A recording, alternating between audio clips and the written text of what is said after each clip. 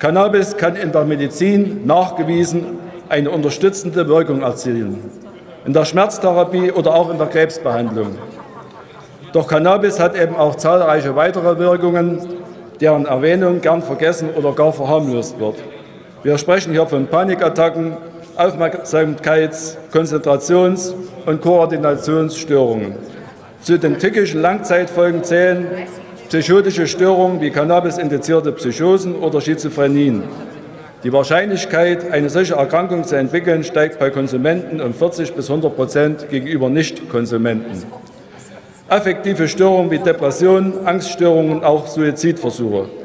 Weitere körperliche Folgen können Entwicklungsstörungen sein, wenn das in der Schwangerschaft der Cannabis konsumiert wird.